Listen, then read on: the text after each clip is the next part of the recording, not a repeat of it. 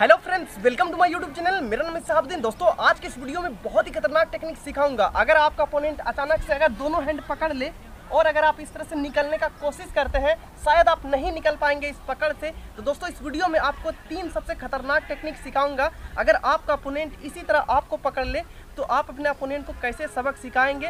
दोस्तों, इस वीडियो में बहुत ही खतरनाक सब टेक्निक सिखाऊँगा। पहला टेक्निक सबसे खतरनाक होने वाला है, इसलिए मैं सबसे पहले आपको पहला टेक्निक ही सिखा रहा हूँ खतरनाक वाले में से, रखा हूँ पहला टेक्निक को। तो दोस्तों, ज़्यादा समय नहीं लेते हुए चलिए शुरू करते हैं।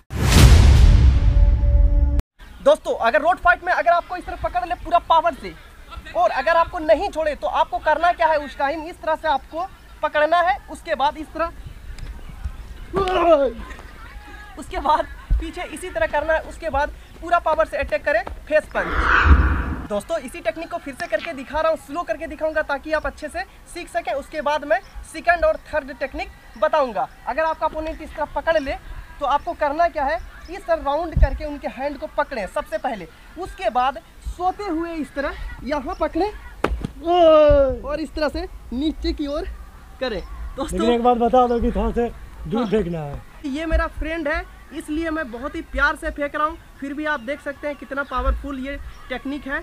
कमर टूट सकता है आपको पूरा पावर से फेंकना है पीछे की ओर। उनका कमर भी टूट सकता है। दोस्तों आपका सर लड़ना नहीं चाहिए यानी कि टकराना।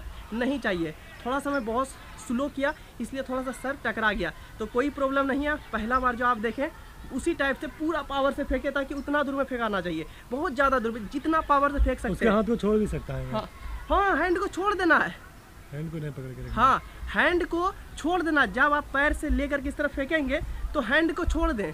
क्योंकि आपका रिश्तेदार थोड़ी ना है। मेरा तो ये दोस्त है इसलिए मैं हैंड अचानक अटैक करेगा फिर उसके ऊपर। हाँ अटैक करेगा फिर मारो ना भाई। बगल वाले हॉस्पिटल में भेजो। तो दोस्तों अब मैं आपको बताऊँगा दूसरा टेक्निक देखिए ध्यान से अगर आपका अपोनेंट इस तरह पकड़ ले तो आपको करना क्या है? सबसे पहले आपको इस तरह उनके हैंड को पकड़ना है। उनका हैंड दोनों लॉक उसके बाद पूरा पावर से इस जगह पर अटैक करें उसके बाद अब मारेंगे नहीं अब नीचे करेंगे। इसलिए आओ मत करो। नीचे जाओ नीचे जाने के लिए तैयार रहो। उसके बाद पूरा पावर से अटैक करें फेस पंच अंसार भाई कैसा लगा? बहुत ही मस्त टेक्निक है आप लोग भी इसे इस्तेमाल ज़रूर करें जब आपके साथ कोई दुश्मन ऐसा पकड़ता है। दोस्तों अब मैं आपको सिखाऊँगा तीसरा टेक्निक अगर आपका अपोनेंट इस तरह पकड़ ले और सिर्फ़ आपको हैंड छुड़ाना है बहुत आसान तरीके से तो देखिए आपको करना क्या है। सिंपल है हैंड को इस तरह ऊपर लेके जाते हुए इस तरह छुड़ाने। फिर से पकड़ो। देखिए दोस्तों ये तीनों टेक्निक में से कौन सा टेक्निक आपको सबसे अच्छा लगा? कमेंट करके ज़रूर बताएँ। अगर आपको ये तीनों टेक्निक पसंद आया तो लाइक ज़रूर करें। अंसार भाई आपको कौन सा टेक्निक अच्छा लगा? तीनों में से बता। फेंकने वाला ज़्यादा बेटर लगा फ़र्स्ट वाला।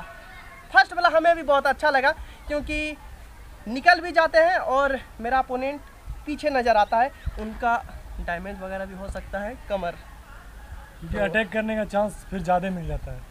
हाँ। पड़ा हुआ रहता क्योंकि पूरा छितार जाएगा वो है ना? फिर उसके बाद जल्दी जाके अटैक कर दो। हाँ तो फ़र्स्ट वाला अच्छा लगा लेकिन आप सेकंड और थर्ड भी कर सकते हैं। थर्ड में क्या कि आप निकल तो जाएँगे लेकिन वो भी सामने खड़ा रहेगा। लेकिन साथ साथ आप उसी तरह पीछे की ओर कर सकते हैं। देखिए सिचुएशन अलग अलग हो सकता है। ज़रूरी नहीं कि जितना मैं बताता हूँ वैसा ही सिचुएशन होगा। ऐसा थोड़ी हो सकता है अंसार ऐसा नहीं हो सकता। जो आपको बेटर हाँ। लगे उसका प्रयोग करें आप। हाँ आप अपना भी माइंड लगाएँ। ऐसा नहीं कि साहबुद्दीन भाई, जो जो मैं बताया, वो तो करना ही है। अगर वैसा सिचुएशन रहे तो। मान लीजिए कि हैंड छुड़ाएँ, ठीक है? और सिचुएशन कुछ ऐसा है ताकि उनका हैंड को पकड़े, फिर लेग को पीछे लेके जाएँ और उनको नीचे की ओर कर दें। और मारे फिर पूरा पावर से फेस पंच ठीक है? मैं मार के नहीं दिखाता हूँ तो ऐसा नहीं कि आप भी नहीं मारे। आपको मारना है पूरा पावर से। तो दोस्तों वीडियो आपको कैसा लगा कमेंट करके ज़रूर बताएँ। और लाइक करें इसी तरह का और वीडियो देखने के लिए। चैनल को सब्सक्राइब करें। दोस्तों लाइक ज़रूर करें भाई और शेयर करें। तो दोस्तों, फिर मिलते हैं नई वीडियो में। तो आज के लिए इतना ही। जय हिंद, जय भारत।